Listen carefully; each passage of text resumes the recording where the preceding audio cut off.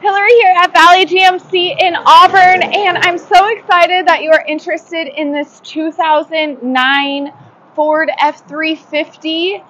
It is a special truck because it's only had one previous owner.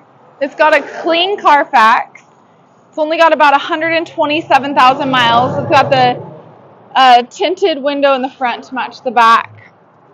Um, I mean, for a 2009, it is in really good shape. Take a look at the interior. It's got the sunroof. All right, so it has been through our full certified uh, inspection. We did put brand new tires, four of them, on this truck. Um, it got an alignment and it is ready to go.